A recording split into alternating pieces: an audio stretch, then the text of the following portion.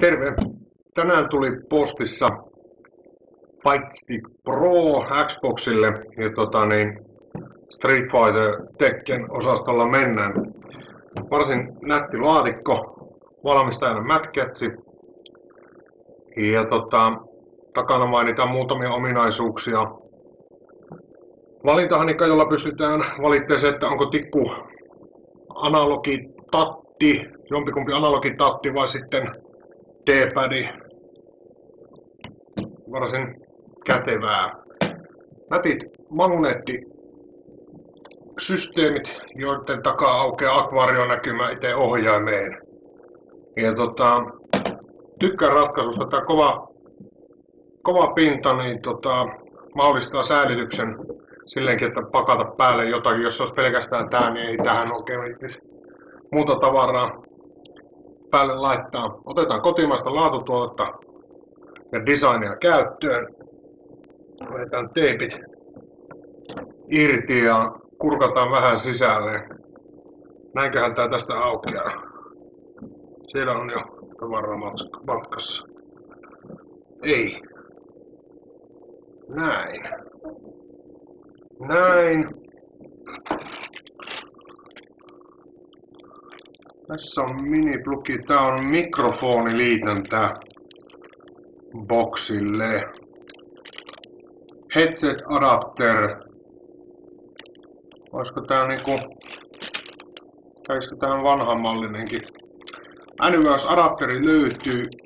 Mennään siihen sitten arvostelussa tarkemmin. Joo.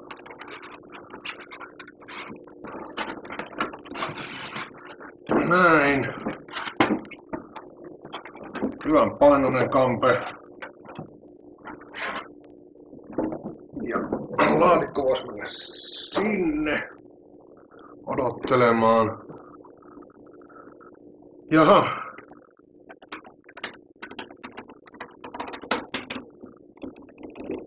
Äh, heti kättelyssä niin tikun tuntuma on aika, aika hyvä, mutta napit on pikkasen jäänyt kyllä siinä, siinä jämäkkyydessä nyt jotakin pois, mitä täytyisi löytyä. Ähm, tällainen ohjaahan tämä on perinteinen äh, pelihallikoneen ohjaan, joka on sitten jossain vaiheessa ei enää puhuta arcade-ohjaimista, vaan alettu puhua fightstickeistä. Nämä ohjaimet alun perin ajatushan oli se, että nämä kestää paarikäyttöä, eli, eli ne on niin jämäkät, että jos punaniska kalja huuruissaan pelailee, niin se kestää kyllä sitten vähän nestettä ja kestää rankempaakin Decathlonin peluta. Joten siitä ohjaimen jämäkkä rakenne on historian jäänne.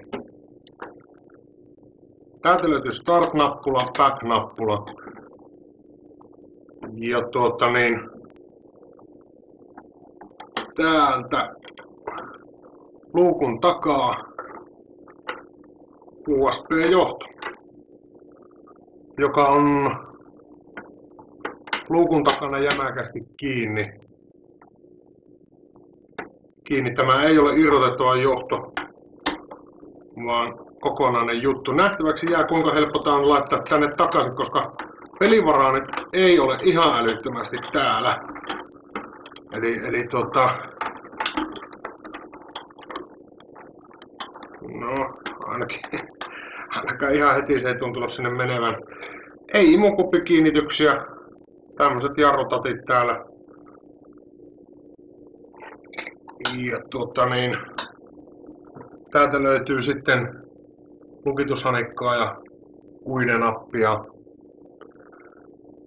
Ja tuosta löytyy turbonappi. Se on tuiki tärkeä kaikille. Nyt tuota, niin, mitä tämän kanssa sitten tehdään, niin tätä testataan. Itse en ole aivan järjetön uh, taistelupelien fani, vaikka Mortal Kombatia silloin tällöin voin kyllä tietyissä olosuhteissa pelata.